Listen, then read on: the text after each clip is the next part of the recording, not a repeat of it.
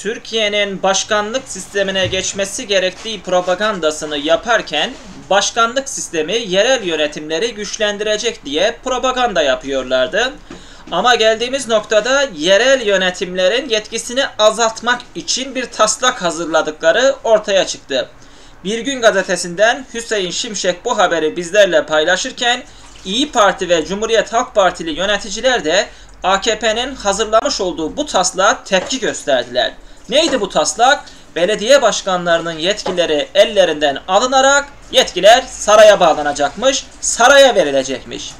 AKP'nin hazırladığı yerel yönetimler yasa taslağında Büyükşehir Belediye Başkanlarının genel müdür, genel sekreter atamalarında onay yetkisinin Çevre ve Şehircilik Bakanlığı'ndan alınarak Cumhurbaşkanlığına devredileceğine yönelik hükümlerin bulunduğu iddia edilmiş.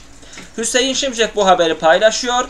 31 Mart yerel seçimlerinin ardından hazırlıklarına başlanan ve bütçe görüşmelerinden sonra Türkiye Büyük Millet Meclisi Başkanlığına sunulması beklenen 9 maddelik taslak çalışmayla Cumhurbaşkanı yetkilerinin artırılacağı iddialarına tepki gösteren CHP yerel yönetimlerden sorumlu Genel Başkan Yardımcısı Seyit Torun, saray belediyelerin yetkilerini tek elde toplamak istiyor dedi. Dikkat ettiyseniz 31 Mart yerel seçimlerinden sonra alınıyor bu karar. E 31 Mart yerel seçimlerine kadar 17 yıldır ülkeyi yöneten AKP niye bu taslağı önümüze koymamış da birdenbire İstanbul'u, Ankara'yı, İzmir'i, Antalya'yı, Adana'yı kaybedince önümüze koymuş? E çünkü güç gitti. İstanbul gibi bir metropol ellerinden gitti. Ne diyorlardı? İstanbul'u kaybeden Türkiye'yi kaybeder. E şimdi kaybettiniz. İstanbul'u kaybettiniz. Ne yapacaksınız? Şimdi yetkilerini ellerinden mi alacaksınız bu başkanların? Neyse Seyit Torun'un açıklamaları şu şekilde devam ediyor. İktidarın yerel yönetimler yasa taslağı hakkında kendilerini bilgilendirmediğini, hangi taslak hakkında bilgilendirdiler ki muhalefeti doğru düzgün zaten. Ancak çeşitli duyumlar aldıklarını dile getiriyor. Saray gücü yetse belediyeleri bir genel müdürlük altına toplamayı düşünüyor gibi. Aslında saray kendisini başbakan, meclis başkanı, dışişleri bakanı, cumhurbaşkanı ve de Türkiye Belediyeler Başkanı gibi görüyor ve bu görevlerin hiçbirini devretmek istemiyor diye konuştu. Torun en büyük belediyeler CHP'ye geçtikten sonra saray, AKP ve bakanlar ne yapacaklarını şaşırdı. Her geçen gün yeni bir kararla karşımıza çıkıyorlar. Biz yerelin güçlenmesini ve yerel demokrasinin işlemesini savunuyoruz.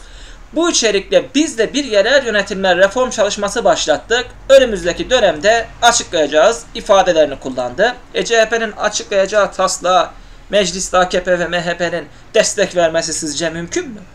KYK borçlarının silinmesi için teklif veriyor CHP. AKP ve MHP oylarıyla reddediyor. EYT teklifi sundular.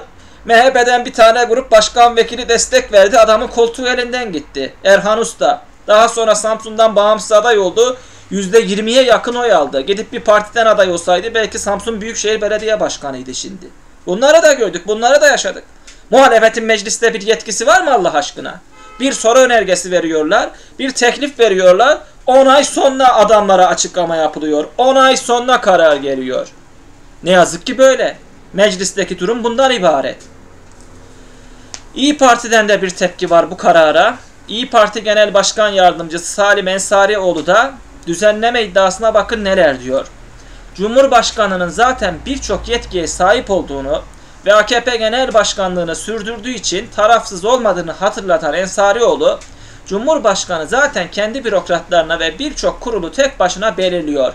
Bir de belediye başkanlarının inisiyatifinde olan konulara karışmaması gerekiyor açıklamasında bulunmuş. Bakalım ve bekleyelim bu taslak meclise gelecek, meclisten geçecek mi? CHP ve İyi Parti bununla ilgili ne yapacak hep birlikte göreceğiz.